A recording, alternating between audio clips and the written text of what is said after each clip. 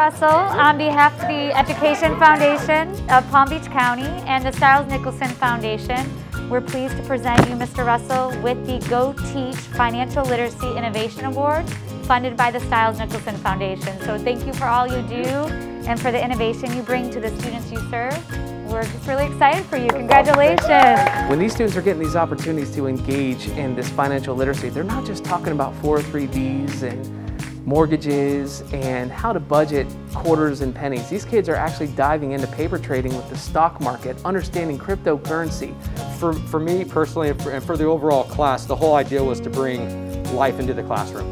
With $5,000, it's just a part of the process to really truly teach students the value of money.